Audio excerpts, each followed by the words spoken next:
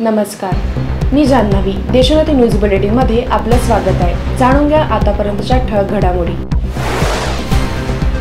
विदर्भ राज्य आंदोलन समितीच्या वतीने आज मध्य प्रदेश सीमेवर श्री क्षेत्र बहिरम येथे रास्ता लोक आंदोलन करण्यात आले.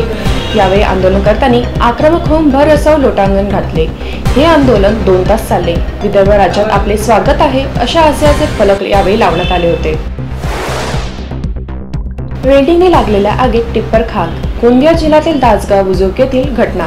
अग्निशमन दलाला प्राचारण करेपर्यंत टिप्पर जळून खाक. तिवसा येथे राज्यस्तरीय कबड्डी स्पर्धेचे आयोजन. भाजप नेते राजेश वानखडे यांनी तीन दिवसीय राज्यस्तरीय कबड्डी सामन्याचे आयोजन केले. भाजप प्रदेशाध्यक्ष चंद्रशेखर बावनकुळे यांची समारोपीय कार्यक्रमात उपस्थिती. नागपुरातील जिल्हा परिषद समोर भाजपचे ठिय्या आंदोलन.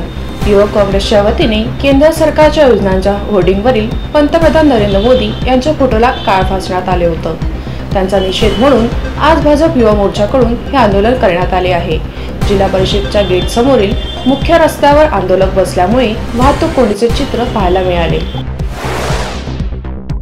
नागपुरात आदिवासी गुणगावारी जमातीचे आमरण उपोषण विविध मागण्यांसाठी हे उपोषण सुरू असून आमच्या मागण्या तात्काळ पूर्ण झाल्या नाही तर संपूर्ण समाज रस्त्यावर उतरेल असा इशारा आंदोलकांनी दिला आहे.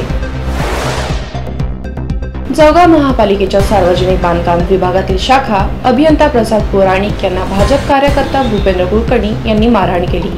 त्यामुळे जळगाव महापालिकेतील कर्मचारी व पदाधिकारी यांनी आज सकाळपासूनच काम बंद आंदोलन करून निषेध केला.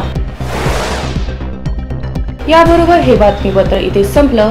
पुन्हा भेटूया नवीन घडामोडींसोबत. नमस्कार. ठळक घडामोडींसाठी देशोन्नती न्यूज चॅनलला सबस्क्राईब करा आणि बेल आयकॉन प्रेस करा.